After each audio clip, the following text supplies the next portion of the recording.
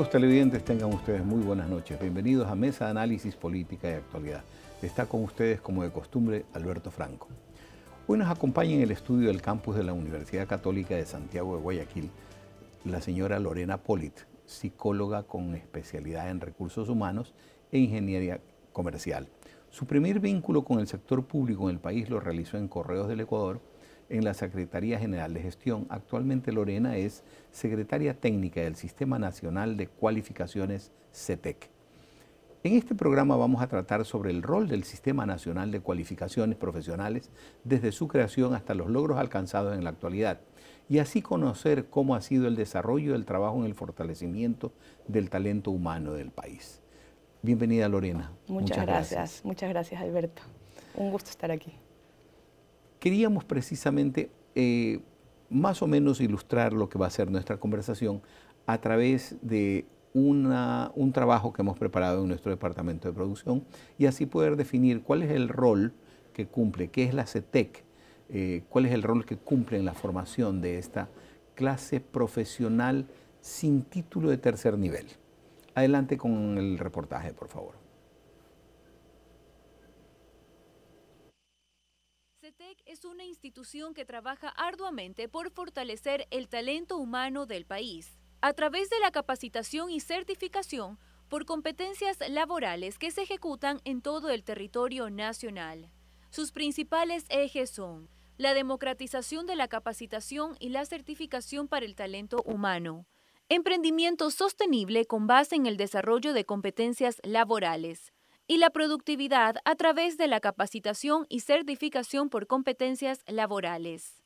En el Ecuador existen varias organizaciones que durante años han capacitado personal para que se dediquen a varias actividades, como es el caso del Centro de Capacitación Ligia Landazuri Velázquez en la ciudad de Guayaquil. Actualmente su centro sigue funcionando, a pesar de que no ha logrado el registro con la CETEC, y hace varios años contaba con el registro del Ministerio de Educación. Nos dedicamos a capacitar auxiliares geriátricas, cuidadoras de adultos mayores, auxiliares parvularias, cuidadoras de niños, estimuladoras tempranas y eh, auxiliar en necesidades educativas especiales. Adicional tenemos varios talleres, caritas pintadas, currículum inicial, un sinnúmero de talleres diferentes.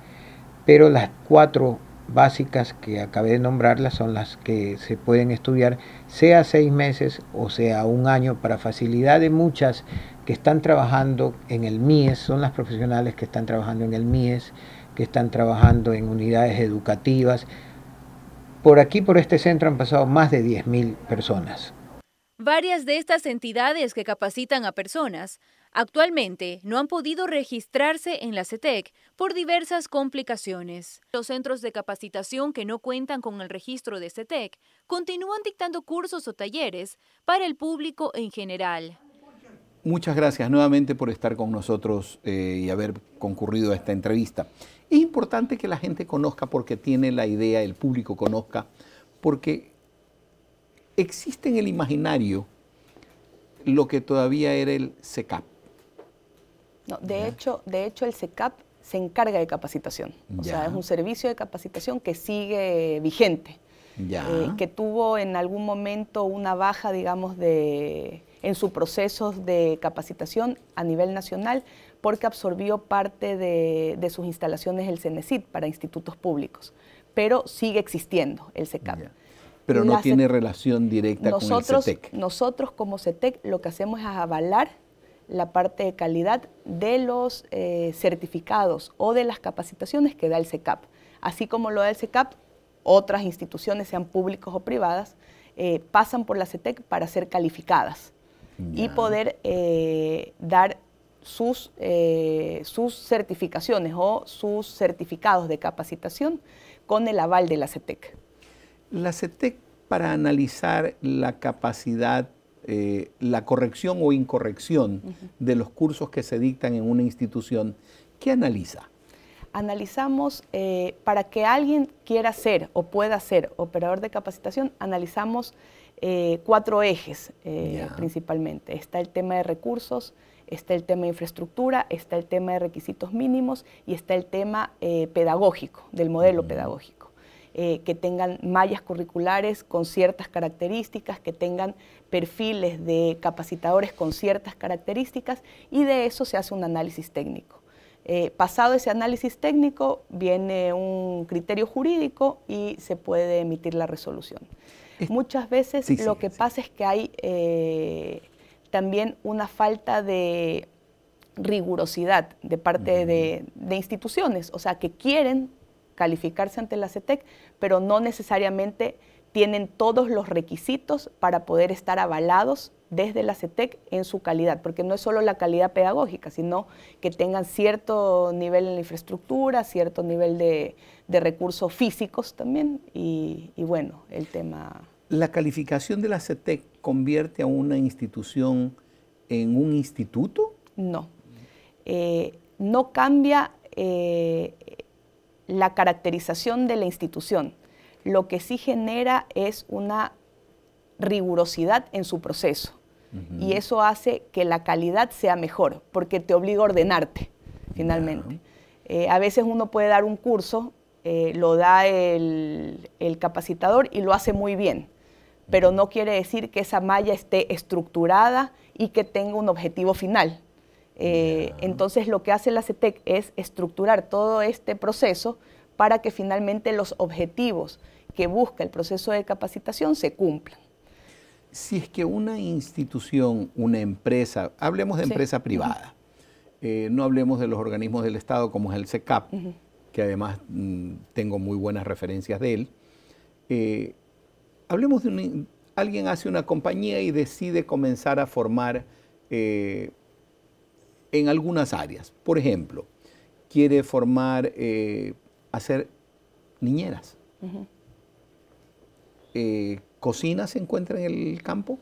Sí. ¿Sí? ¿También? bueno, quiere formar eh, auxiliares domésticas en cocina, quiere formar auxiliares domésticas en lo que es niñeras, en cuidado de personas adultas, de adultos mayores, o sea, que no es enfermería, pero es un cuidado, un nivel de, ese, de esos. O auxiliares de enfermería, eh, ¿Está en el campo? Eh, no se puede poner eh, el tema de auxiliar porque no damos un título. O sea, las, entidades que dan capacitación no titulan. Entonces no podría llamarse auxiliar de enfermería, pero podría ser curso para, o sea, para algún tema específico relacionado con el auxiliar. Ya. Y esos son a veces los problemas, que finalmente quieren poner nombres que, que generan confusión porque parece una titulación. Y lo que está regulado en la CETEC es que al ser un curso y al no ser una titulación, no puede llamarse como un título. Se da es una capacitación. Ustedes certifican que la capacitación que da la, empresa eh, formativa, llamémosle formativa S.A., eh, la empresa formativa, el curso que da de en cocina, las personas están capacitadas para, para ejercer tal o cual función. Exacto. ¿Así es el tema? Sí. Ya. Usted me hablaba de cuatro ejes. ¿Cuál es el primero? A ver, eh, nosotros trabajamos, de hecho, dentro del proceso de capacitación, sí, tenemos el tema de requisitos mínimos que tiene que tener, eh, tiene que estar constituido, tiene que tener un representante legal, si es que fuera el caso. Eh, si es que es una persona natural, tiene que tener un RUC que esté orientado al tema de las actividades de enseñanza. ¿Requiere algún título especial? No si es que va a ser operador, porque el operador tiene que tener una infraestructura mínima, que es otro requisito, digamos. Y esa infraestructura tiene que tener ciertas características. Finalmente tiene que tener ciertos recursos físicos, tiene que tener mobiliario, tiene que tener algunos temas, y de ahí el modelo pedagógico, tener una malla curricular con expertos en la temática que va a dar el curso. Usted hablaba, perdón que le interrumpa, para ir más, o menos, más o menos haciéndole la disección al tema. Habla de que si, si va a ser operador, eso significa que puedo, ser, puedo tener la empresa y no necesariamente ser yo la persona que va a dar el curso. Claro, o sea, finalmente puede ser una empresa de capacitación. También existe otra modalidad que es el de capacitadores independientes que teniendo la experiencia en algún tema quieren dar una capacitación sobre ese tema en específico. Entonces es otro, o sea, es otro esquema de calificación porque no necesariamente tiene que tener una infraestructura, por ejemplo. Porque esa persona va a dar cursos específicos en el ámbito de su competencia y va a ser el capacitador. Y puede alquilar un sitio por una, por una vez, dos veces, diez veces. Exactamente. Entonces, no, ahí no, lo importante no es el sitio, sino su experiencia. Cuando una empresa quiere ser una empresa capacitadora, sí es importante que tenga ciertos recursos mínimos que eh, generen que haya un espacio confortable para el que va a ser capacitado. Hablando de infraestructura, eh, ¿qué consideran ustedes los requisitos mínimos de infraestructura? O sea, tener eh, aula, que tenga mobiliario, que tenga eh, proyector, que tenga, o sea, que tenga todas las herramientas necesarias para que la capacitación sea dada con un enfoque de calidad. Dentro de estas condiciones conocemos los avances tecnológicos. ¿Cómo están lidiando ustedes o no lo están haciendo todavía con el tema eh, de la capacitación virtual? Tenemos, o sea, él, de hecho, el operador puede escoger el, tipo de capacitación que da, que es presencial, semipresencial o virtual. O sea, eh, cada, cada, empresa o institución que quiere ser operador de capacitación es el que pone las reglas del juego. Y en función de esas reglas nosotros regulamos. O sea, nosotros no le decimos, no, no puede ser virtual. Ok, si va a ser virtual tiene que tener un sistema, tiene que tener un streaming, si fuera el caso. O sea, finalmente eh, lo importante es que esté organizado de tal manera que la calidad sea eh, el resultado principal de su proceso de, de formación. Precisamente para conocer los elementos de esa preparación o capacitación virtual volvemos en el siguiente bloque. Es momento de hacer una primera pausa en Mesa Análisis Política y Actualidad. Regresamos en breve para continuar más con este interesante tema de que muy poco conocemos realmente. Volvemos.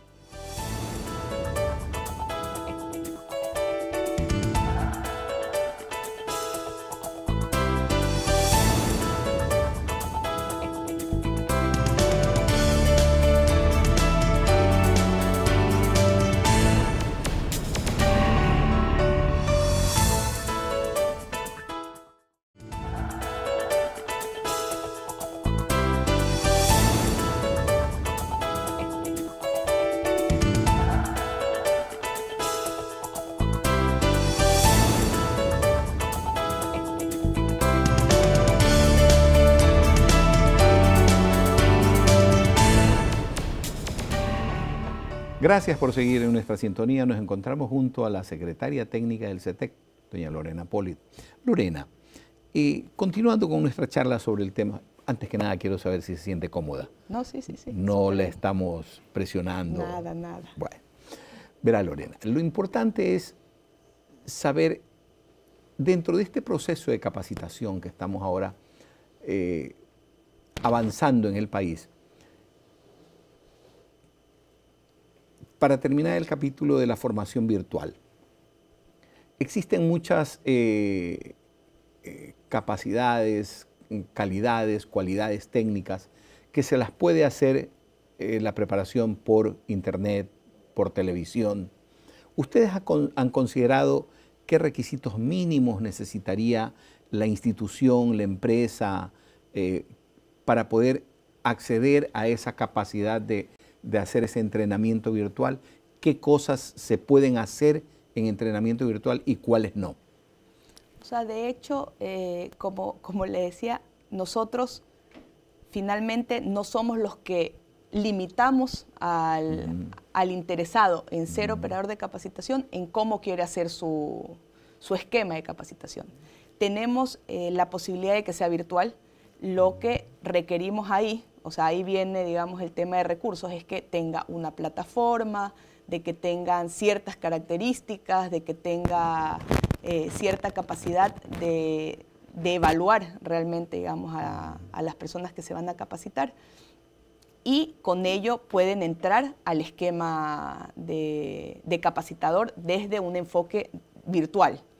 ¿Ustedes exigen el uso de plataformas como Moodle o cualquier otra? Puede ser, o sea, de hecho, puede ser Moodle. Nosotros trabajamos eh, con algunas universidades, son operadores de capacitación y ellos hacen muchos cursos virtuales. Algunos bajo el enfoque Moodle, otros que es gratuito y finalmente uno paga, digamos, por el certificado. eh, otros lo hacen con una plataforma que tiene una tutoría de interacción, digamos, en, tiempo real y funciona bastante bien también, pero tiene otros costos. Finalmente, digamos, ahí hay un tema de oferta y demanda también. cada, cada, plataforma o cada esquema de, capacitación tiene sus particularidades y por ende también su, costo. ¿Cómo se está desarrollando el, el proceso de la capacitación tanto virtual cuanto presencial, de estas capacidades técnicas de las personas? O sea, de hecho, la mayor parte de los operadores que se califican con la CETEC tienden a ser presenciales, o sea, a hacer capacitación presencial. Eh, la, tendencia mundial nos lleva a pensar que la virtualización, digamos, de, la formación es, la, es lo que se viene y para eso tienen que dar un salto cualitativo.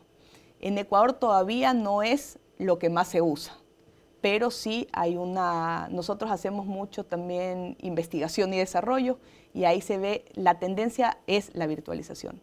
Y en eso, bueno, la CETEC está trabajando también y eso digamos que es parte de uno de nuestros, de nuestros desafíos de este año, en encontrar un esquema que sirva para los operadores que estén calificados con la CETEC para lograr que sus cursos presenciales también puedan ser eh, transformados a un curso virtual. Para eso necesita otro tipo de, apoyos, porque ya no es el, profesor el que dicta, sino que tienes que tener muchas herramientas que sean intuitivas, por un lado, para, para manejarlas a través de la virtualidad y que sean muy este, como... De uso, de uso fácil. Sí, y que sea fácil de entender, o sea, fácil, fácil de interactuar. Sería... Precisamente, me parece que los elementos con los que ustedes están eh, entrando ahí podría ser algo relacionado a la interactividad, algo relacionado a la multimedialidad y a la transmedialidad. Eh, el nuevo sistema de televisión utiliza precisamente o está en capacidad de generar interactividad, la televisión digital. El Ecuador está avanzando hacia la televisión digital a partir del año 2020. Quizás les podría servir por ahí, por la interactividad que se genera en este tipo de televisión. De hecho, o sea, yo creo que eso está bien de, vanguardia. Si alguien lo propusiera, nosotros finalmente no, no vamos a calificar como positivo o negativo el cómo se haga la capacitación siempre y cuando tenga estándares de calidad, que es lo que evaluamos. Porque lo que puede suceder es que alguien eh, propone a su, a su público objetivo y genera una expectativa de un esquema de capacitación y finalmente digamos que no cumple con las expectativas. Entonces, me parece súper interesante. O sea, de hecho, no lo había pensado como, como, una alternativa el tema de interactividad a través de la televisión, porque se ve mucho en videojuegos, se ve mucho, digamos, pero desde la capacitación me parece que sería, o sea, muy potente si es que algo así propusiera algún... Es interesante el tema de la, de la educación en este sentido a través de la televisión, porque la televisión tiene una penetración del 98% en relación que el Internet tiene una penetración a duras penas del 42%. Sí, o sea, de hecho me parece, en nuestro país, genial. En nuestro país en donde la, preparación de tercer nivel es cara, es larga. ¿Qué oportunidades le ve usted a la preparación de este tipo de, ¿cómo les podemos denominar? ¿Profesionales? Son profesionales, o sea, pero sin titulación. Porque finalmente generan una experiencia y una experiencia que debería ser reconocida, a pesar de no tener un título al no dárseles un título a estas personas que siguen las capacitaciones, ¿qué oportunidades de trabajo les ve usted? De hecho, eh, nosotros como CETEC hemos hecho un análisis de, eh, bajo encuesta de personas que han sido capacitadas y más, más que capacitadas, hay otro tema, digamos, que está muy relacionado con el ámbito laboral, son las personas que han sido certificadas en su experiencia.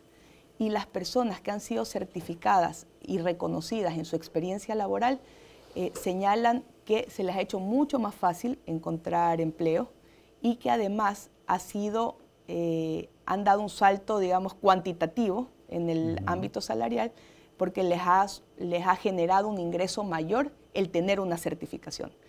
Eso no está asociado a la capacitación. La capacitación es el desarrollo de conocimientos, habilidades y destrezas desde una transferencia de o sea, teórica. Así es. Y eh, la certificación lo que busca es, además de tener esa transferencia teórica de conocimiento, evaluar la expertise de la persona en cierto ámbito profesional o de trabajo. Al tener las dos cosas, usted puede generar una certificación de competencias laborales, que es algo que también existe, que también eh, nosotros reconocemos a organismos que generan ese espacio de certificación. Le hago una pregunta muy directa. Ustedes certifican a los certificadores. Exacto. ¿Es verdad? Esa es, digamos, una forma. Pero pregunto, si una persona tiene por ejemplo, un camarógrafo eh, tiene 30 años de experiencia, está reconocido en los medios como camarógrafo. ¿Él tendría que recurrir a quién? ¿Directamente a ustedes o a buscar a, un, organismo, evaluador, A un organismo evaluador que lo que va a hacer es generar en esa persona una evaluación teórico-práctica relacionada con su competencia. Nosotros desarrollamos los perfiles, eso sí. Nosotros desarrollamos el perfil que en el que esa persona o cualquier otra, por ejemplo, en el ámbito eh, periodístico tiene distintos perfiles, en el ámbito de turismo tiene distintos perfiles, en el ámbito eh, de gastronomía tiene distintos perfiles y lo que hace esa persona es, ese organismo lo evalúa teórico, de forma teórica y de forma práctica y si esa persona accede a un porcentaje mayor de X por ciento, que es logra el certificado. Y ese certificado, de hecho, está reconocido por el CENESIT. ¿Por qué no? A ver, ¿está reconocido por el CENESID en qué calidad? ¿De profesionalización? No es un título de tercer nivel, es un certificado de competencias laborales, el que lo que dice es que esta persona es experta, independiente de que no tiene, o sí tiene título, porque a veces tienen título, pero además tienen certificados, es experta en esa temática en particular. ¿Un ingeniero industrial puede especializarse en soldadura autógena? Sí y él es, eh, va a tener un certificado de competencias laborales relacionados con el tema de soldadura.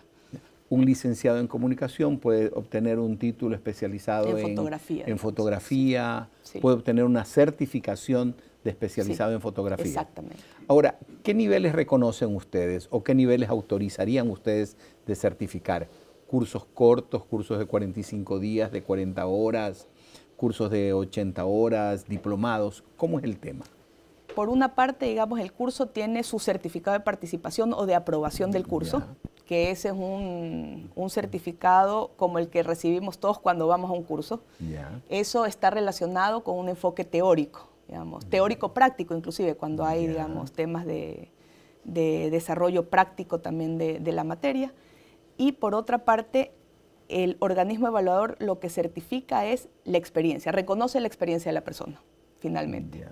Entonces, no importa si no ha hecho ningún curso, tampoco.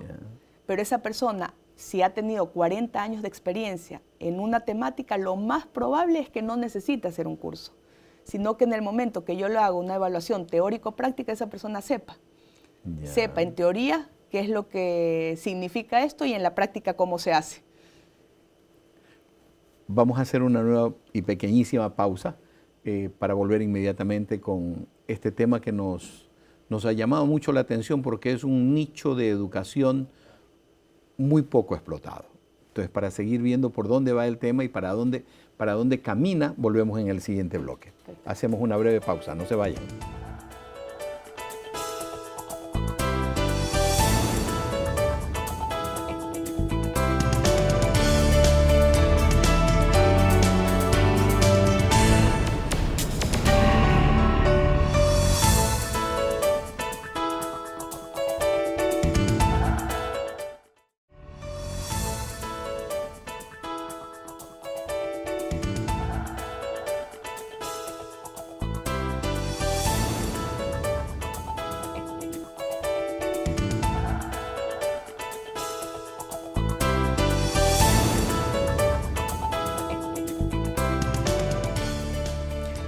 Continuamos nuestra entrevista con doña Lorena Polit, secretaria técnica del CETEC. Pero antes de que nada, antes de continuar, les recordamos que pueden seguirnos en nuestras redes sociales, en nuestra página de Facebook que es UCSGTV y en Twitter digite UCSG-TV. Normalmente estamos de modo permanente en streaming, así que pueden vernos en el Ecuador o en cualquier parte del mundo a través del streaming de UCSG RTV slash televisión. Estamos permanentemente y 24 horas en las redes sociales y en streaming para ustedes. ¿Cómo ha sido esa relación de la CETEC con la empresa privada? Cuando nace la, la CETEC, ¿hace qué tiempo nace la CETEC? En el 2016. En 2016, tiene ya tres años de función. De hecho, se transforma el Consejo Nacional de Capacitación en la CETEC. en la CETEC, ya. Hasta ese entonces existían instituciones que estaban autorizadas por el Ministerio de Educación, creo. Sí. ¿ya? Estas instituciones autorizadas, algunas tenían, eh, diga usted, permiso de otorgar sus certificados. Hasta el 16, 17, 18, 19, 20 creo que habían algunas. ¿Cómo han ido regularizándose estas instituciones en la CETEC? ¿Cómo las han recibido ustedes? ¿Ya han incorporado algunas? Eh, ¿Cómo va ese trámite? De hecho, sí. Eh, hay instituciones que anteriormente este, principalmente en el tema artesanal, están reguladas, digamos, en el Ministerio de Educación y hoy en día, no todas, pero muchas forman parte de la CETEC. De, digamos, de, forman parte del proceso de calificación de la CETEC. En el ámbito privado ya no está regulado el que tengan que tener un aval si es que usted da cursos a las personas del mundo empresarial privado. Pero en el ámbito público sí, si usted quiere dar un curso eh, en el ámbito público, tiene que estar avalado por la CETEC. A ver, a ver entonces, eh, para ir por partes. Si yo soy una empresa privada, ¿no necesito la autorización de CETEC? Si doy cursos en el mundo privado, no necesariamente necesitan. Muchas lo buscan porque saben que les da un, un, plus. un plus de calidad. Ya. Finalmente, la gente sí busca que esté avalado por la CETEC. No es obligación que esté, pero el usuario final busca que haya un aval desde el Estado, y en este caso es el de la CETEC. En el ámbito, en el ámbito público, es mucho más fácil, porque para dar un curso en el sector público, obligatoriamente tiene que estar avalado por la CETEC. Claro. Entonces, si yo en cambio soy, diga usted, Ministerio de Gobierno, y quiero dar un curso de operación de pistolas Glock a la policía, tiene que estar avalado. Tengo que estar avalado por CETEC. Esto es, para avalarme la CETEC dentro del curso, tiene que probar qué cosas. Lo que comentábamos, el tema de que tenga ciertos recursos, eh, de que tenga cierto modelo pedagógico, de que tenga ciertos requisitos mínimos de infraestructura. Ahora, si hay una, una, empresa que ya se ha calificado dentro de los, de los requisitos mínimos, hablemos de que se ha comprobado que tiene local, que tiene infraestructura, que tiene, como una universidad, que tiene una serie de instructores de tercero y cuarto nivel para obtener una nueva, una nueva certificación de, de, digo usted, para calificar en el campo de turismo. Para calificar... Hace eh, una ampliación. Hace una ampliación. Hace una ampliación. Por cada una de las... Por los temas en los que quiere, digamos, genera nuevamente una malla, pero es mucho más fácil el proceso porque todo lo, demás ya está aprobado. Y lo que hace es ampliarse en los temas en los que además quiera dictar sus cursos adicionales. En el caso de empresas que se asocien con instituciones educativas, ¿se ha contemplado el caso? Sí, de hecho, muchas veces la institución educativa puede ser que ya está avalada, digamos, por la CETEC. Eh, y si no, la empresa puede eh, avalarse por la CETEC y tener un, doble, o sea, una doble firma, finalmente. Tiene a la, entidad académica, a la empresa y bueno. Pongamos el caso. Eh, yo tengo una compañía en la que doy cursos de camarografía pero me asocio con la Universidad Católica de Santiago de Guayaquil. Ninguno de los dos estamos calificados.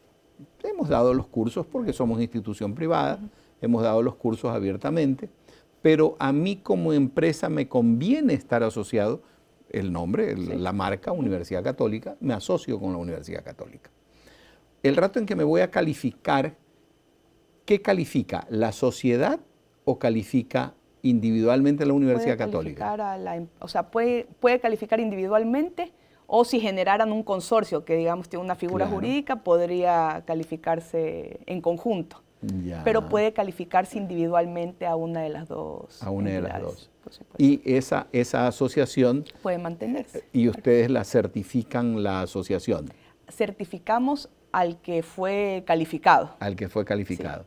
Pero eso, no quita que pueda, digamos, estar asociado. que puedan calificarse en consorcio. Sí, sí, sí. sí. Ya, es interesante la figura. Están dando, están dando la capacidad a la empresa privada para poderlo Sí. hacer. De hecho, de hecho, nuestro interés es homologar, y parte de la, de la misión de la CETEC es poder eh, implementar ciertas políticas públicas y homologar calidad en los organismos de capacitación y de certificación de competencias. Cuénteme, y dentro de, esa, de ese reincorporar a las instituciones que, privadas que daban cursos a nivel privado, eh, ¿qué es lo que más observan ustedes? que les falta cierta rigurosidad en el proceso. Ya. Entonces, ¿A les falta a qué te en, el modelo pedagógico principalmente, Ya. en desarrollar la malla, en tener a los, es- a la- a los eh, capacitadores, digamos, con ciertos perfiles que tienen que tener relacionados con el curso en el que van a dar. Entonces, en, ese, en esa falta de rigurosidad en el desarrollar el proceso, porque no quiere decir que no lo tengan, ellos tienen al capacitador experto, pero muchas veces lo que pasa es que no desarrolla la malla ese capacitador, sino un tercero dentro de la misma institución que no necesariamente sabe cómo desarrollar mallas curriculares. Ya. Entonces, claro, en ese proceso se demoran. El proceso más demoroso es esa parte, digamos, del proceso. Ustedes privilegian la calidad de la estructura pedagógica del... Claro. sí. Es lo más, finalmente eso es resultado de, de calidad. O sea, el tener una buena malla, un buen capacitador y un buen esquema de, de capacitación, lo que hace es augurar el éxito en ese proceso de capacitación. Dentro de esa certificación de que la empresa Formadores SA eh, está certificada para otorgar certificaciones en el campo de turismo y en el campo de cocina.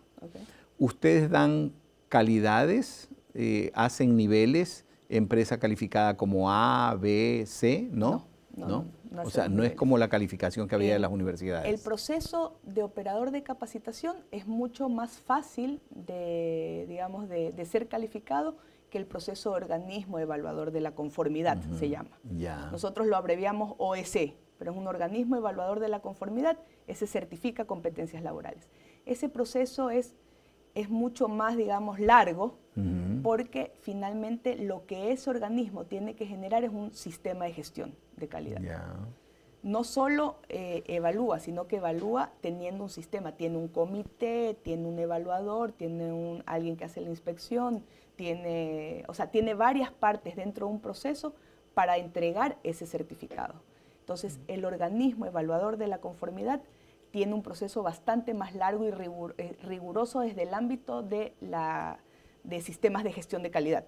Ya. Entonces, siempre es un poquito más largo, pero lo que genera es que ese certificado que va a entregar realmente eh, sea un certificado con todo el proceso de desarrollo para lograr evaluar a, es- a la persona a la que se va a evaluar.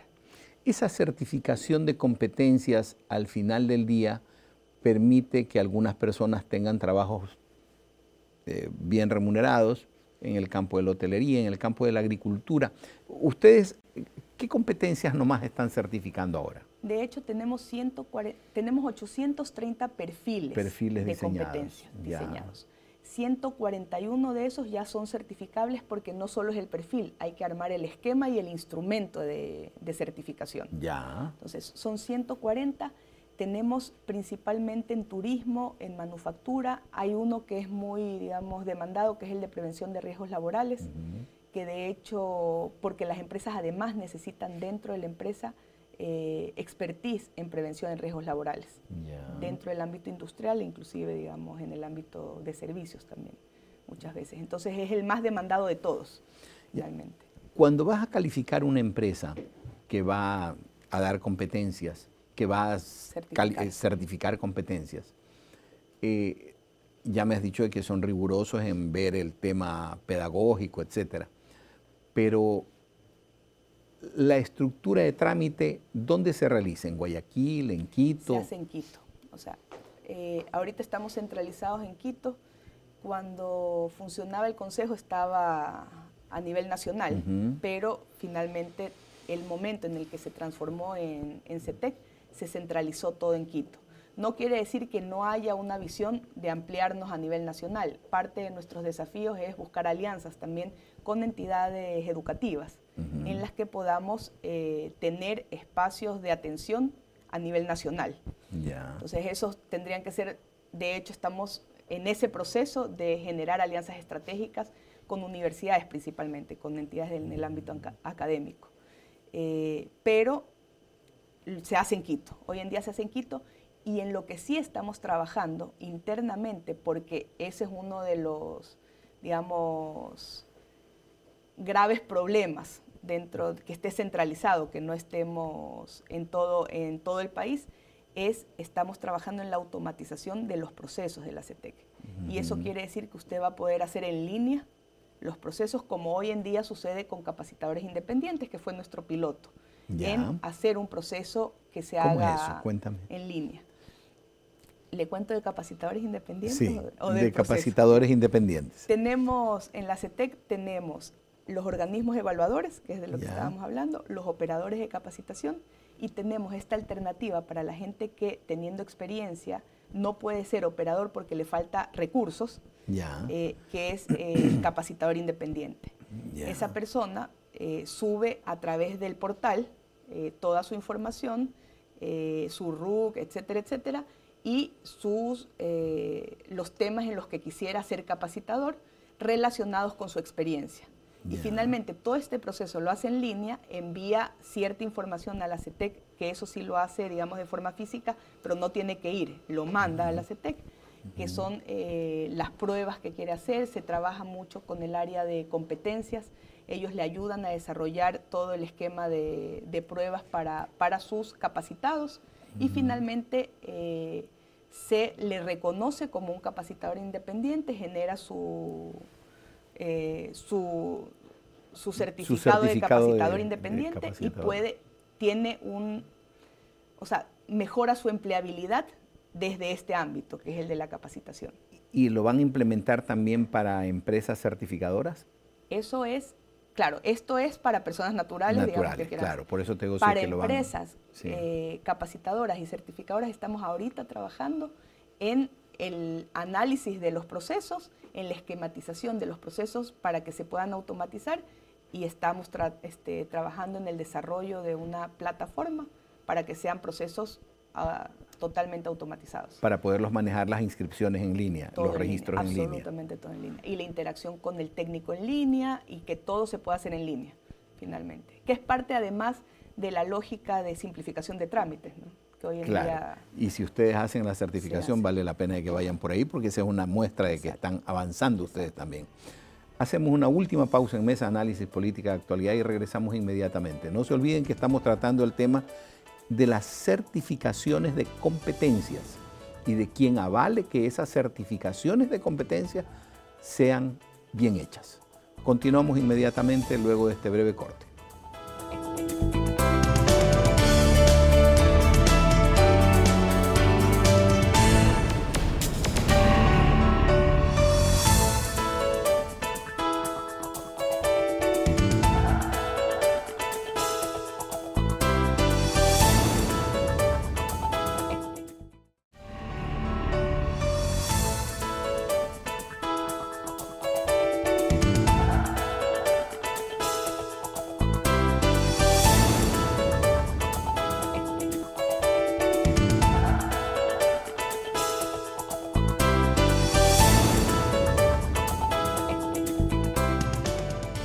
Continuamos en este último bloque de mesa, análisis política de actualidad, para llevar a ustedes eh, algunas, algunas cuestiones sobre el perfil de cualificaciones y certificaciones profesionales que se hacen a través de la CETEC. Vamos a ver cuál es la utilidad social del CERCOP eh, del, perdón, de la CETEC, quién cumple las labores que en un momento dado las tenían otras instituciones. Esto es la certificación de las competencias. Hablábamos hace un momento, otras cámaras, de que la CETEC, que es necesario tener la certificación de la CETEC para poder eh, certificar competencias. ¿A qué te referías? Eh, en el ámbito de la certificación de competencias laborales, sí es obligatorio que el organismo que quiera certificarlo esté avalado por la CETEC. ¿A qué llamas eh, competencias laborales? O sea, básicamente es el reconocimiento a la experiencia. La competencia laboral es la capacidad de la persona de saber hacer algo. Ya. Y lo que hace el certificado es reconocer esa experiencia de la persona, ese saber hacer. Hablemos, por ejemplo, del campo de turismo. ¿A cuáles te referirías? O sea, ¿Cuáles de las labores? Por ejemplo, ahí puede tener un, este, la persona que hace desarrollo turístico. Eh, un guía turístico. Un guía turístico debería poder tener un certificado de que sabe hacer lo que dice que sabe hacer. Y de hecho hay bartender, de, barman. de hecho, eh, tenemos, tenemos algunos certificados relacionados con turismo, algunos con el tema de gastronomía, como decía ahora, eh, que lo que buscan es que las personas realmente se les reconozca esa experiencia o esa expertise, si, si se puede decir así. Ahora, dentro del campo artesanal, por ejemplo, eh, hay institutos de belleza que forman eh, en el campo del peinado, en el campo del maquillaje, eh, del, del tratamiento de uñas, etc. ¿Esas personas pueden recibir esos certificados? Si es que el perfil está desarrollado, sí. nosotros desarrollamos perfiles en base también a demanda. Entonces, por ejemplo, viene alguien eh, que está en el ámbito de, la belleza y dice, a mí me gustaría poder certificar en este perfil. Se hace un análisis de la demanda real, porque no es la idea certificar a uno, sino que efectivamente se pueda democratizar y que se pueda, las personas que tienen experiencia en ese tema, eh, se certifiquen. Entonces, eh, se hace un análisis de la demanda y en función de ese análisis vemos que hay realmente una demanda real eh, en ese certificado y se desarrolla el perfil. El desarrollo del perfil no se hace en escritorio, se hace con eh, el sector productivo. Entonces, si es en el ámbito de la belleza, se convoca a esta mesa a los distintos actores en el ámbito y junto con ellos se desarrolla el perfil, se desarrolla el esquema, el instrumento se valida en otras mesas y finalmente, digamos, tenemos un producto que es certificable. Y por el otro lado necesitamos al organismo evaluador, que normalmente es este, esta primera persona o entidad que vino y dijo, eh, considero que podríamos hacer esto y tenemos una demanda efectiva, y ellos se amplían en ese perfil y hacen el proceso de certificación en el caso. A lo largo de la entrevista, unas dos o tres veces, nos ha hablado de que esta, nos has dicho de que estas certificaciones se registran en el CENESID. Sí. ¿Esto qué, eh, qué, es, qué, qué, les da? De hecho, lo que, lo que genera es, sin ser un título profesional, que esté reconocido en el ámbito educativo. Ya. al reconocer la experiencia de esa persona, el CENESID lo que hace es reconocerlo además en su registro de títulos, no como un título formal, pero sí como un certificado de, expertise o de experiencia. Eh, la, la CETEC está regida por un comité, un comité interinstitucional que está presidido por el Ministerio de Trabajo, pero ahí también en ese comité está el CENESIT y está el Ministerio de Producción. Entonces el, deber ser de la, de la CETEC está enfocado desde un ámbito de educación no formal, pero además relacionar esta educación no formal al ámbito de educación formal, por una parte, y además incentivar desde, desde la educación la mejora de la productividad. Por eso son los tres eh, organismos que presiden el comité, finalmente. ¿Qué capacidad eh, o qué calidad, no encuentro exactamente el término, una persona de que ha sido avalada en sus competencias eh, a partir de un organismo acreditado por la CETEC, esa persona, ¿qué validez en el mundo real académico puede tener ese título? ¿Se ha hecho ya alguna forma de, de lograr de que esa certificación pueda insertarse en los procesos de estudio de tercero o de cuarto nivel? De hecho, en el Ecuador estamos recién ahora, después de haber trabajado en la Agenda Nacional de Capacitación, uno de los desafíos es el desarrollo del marco nacional de cualificación. El marco nacional es el que determina ese certificado dentro de la educación formal a qué corresponde. Si corresponde a un nivel técnico, a un nivel tecnológico, o tal vez tampoco corresponde sino a una posibilidad de créditos universitarios para acceder a un título. Ya. Eh, pero el marco se está, eh, se está recién pensando, o sea, no, no, le puedo decir ni siquiera que estamos estructurándolo, estamos trabajando, hubo un trabajo previo que algo se trabajó con nosotros, la, la, agenda lo hicimos con la OEI, con la Organización de Estados Iberoamericanos, y ellos ya algo habían trabajado hace unos tres años, cuatro, cuatro años me parece, en el desarrollo del marco. Entonces estamos retomando con ellos porque finalmente es el marco nacional el que va a migrar esa certificación hacia el ámbito académico formal, digamos. En otros países ya está desarrollado. Aquí lo estamos eh, trabajando desde origen y digamos, vamos a trabajarlo y esperamos tener algo para el próximo año. Realmente. El reconocimiento del expertise de las personas adquirido a lo largo de muchos años va a ser incluido, eh, di tú, como parte de una acreditación profesional o vas, va a tenerse solamente quienes han accedido a través de cursos certificados? O sea, más bien es el certificado no necesariamente está asociado con el desarrollo de un curso. Ya. Entonces, el que adquiera esta certificación eh, que derivada de un curso o por experiencia de, o por experiencia de o por años. claro calificación de su experiencia realmente es el que se certifique en su experiencia va a poder eventualmente acceder a la educación formal desde esta certificación. Eh, hoy en día no está funcionando así, pero lo que sí es, es un primer paso para reconocer que es importante el tener esta certificación, porque si lo reconoce el CENESIT, lo que le está diciendo es, eh, usted tiene algo que definitivamente dice que usted es un experto en algo. No quiere decir que sea eh, un título de tercer nivel, que finalmente es un título que viene desde la academia. Claro. Este certificado viene desde la experiencia, finalmente. El rato en que hacemos un proceso de certificación de una competencia laboral, ¿nos limitamos a revisar la competencia laboral práctica o también introducimos eh, elementos, eh, el conocimiento de elementos teóricos? Se introducen los dos. Hay una prueba teórica y una prueba práctica. ¿Qué nivel de rigurosidad tiene la prueba teórica? De hecho, esa la desarrollamos desde la CETEC. Al armar los perfiles, usted esquematiza, tiene un, por eso tiene un instrumento de evaluación. Uh -huh. Ese instrumento de evaluación teórico se elabora con todos los actores relacionados con este perfil, que están trabajando en este perfil desde el sector productivo, desde el ámbito público, desde el ámbito privado. Se desarrolla el perfil y eh, se estructura una prueba teórica. Entonces, es, es bien rigurosa. De hecho, muchas veces no la pasan tampoco la, las personas que quieren certificarse, ¿no?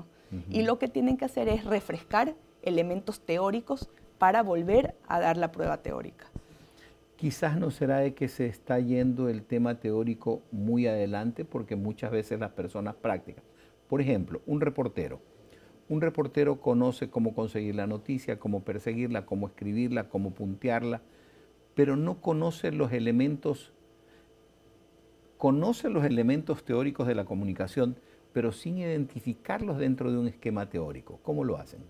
O sea, de hecho, como trabajamos el instrumento con el gremio, uh -huh. finalmente son ellos los que definen también cuáles son los elementos teóricos que desde la experiencia también se pueden entender, digamos. Uh -huh. Entonces, no es, por eso yo le decía en algún momento, no lo trabajamos nosotros, yeah. se trabaja con la gente que está en ese gremio se trabaja con los reporteros, se trabaja con los canales, se trabaja y finalmente el canal lo que necesita en ese reportero es que sepa hacer, pero que también sepa esto particularmente, o sea, los, elementos teóricos para ser reportero.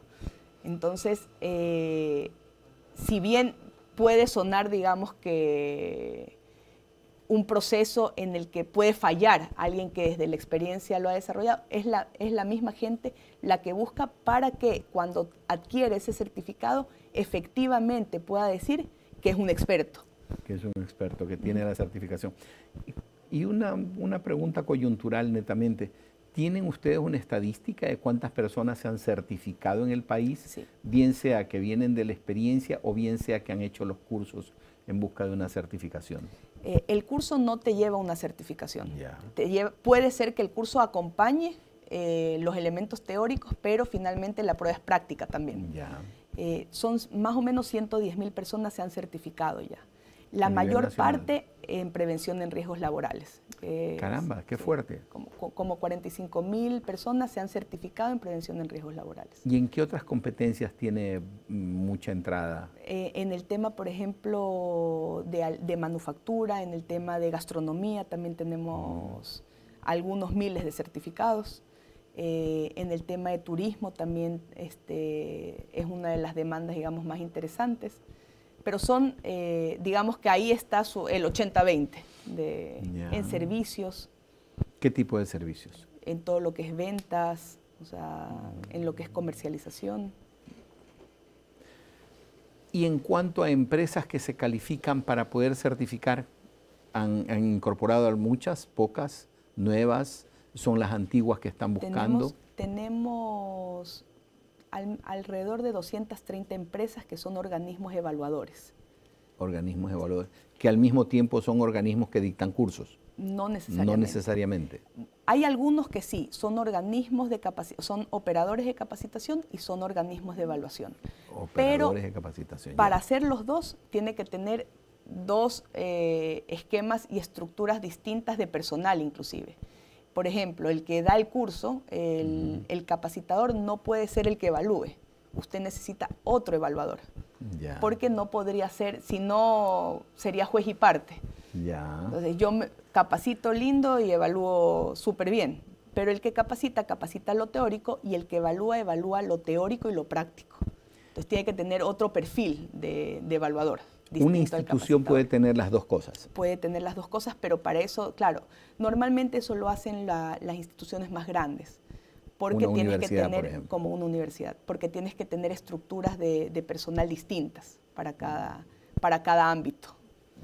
Veo que el desarrollo de la institución está muy fuerte, pero ¿tú qué consideras que le hace falta al CETEC? La automatización de los procesos. En eso estamos, por eso es, es un desafío de este año el poder, el poder tener una capacidad mayor para responder las necesidades de, los, de nuestros usuarios, que son los operadores. Sí, porque me imagino de que hay operadores en Loja, en Cuenca, en Esmeraldas. Y que quieren, y nos preguntan por qué no están a nivel nacional. Entonces, esta es una forma de sortear el no estar a nivel nacional.